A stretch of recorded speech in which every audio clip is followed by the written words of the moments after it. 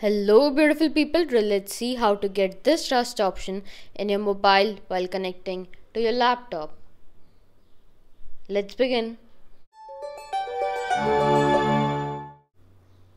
Go to settings, then scroll down and go to general. Then again scroll down and go to reset.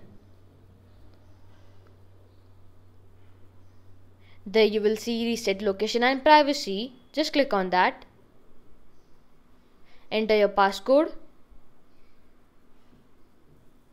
And this option should right pop up. And you're done. Now try plugging your mobile with your laptop again.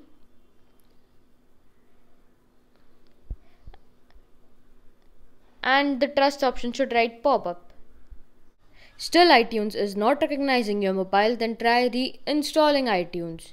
And that is really easy. Just go to Google and try searching for free iTunes download.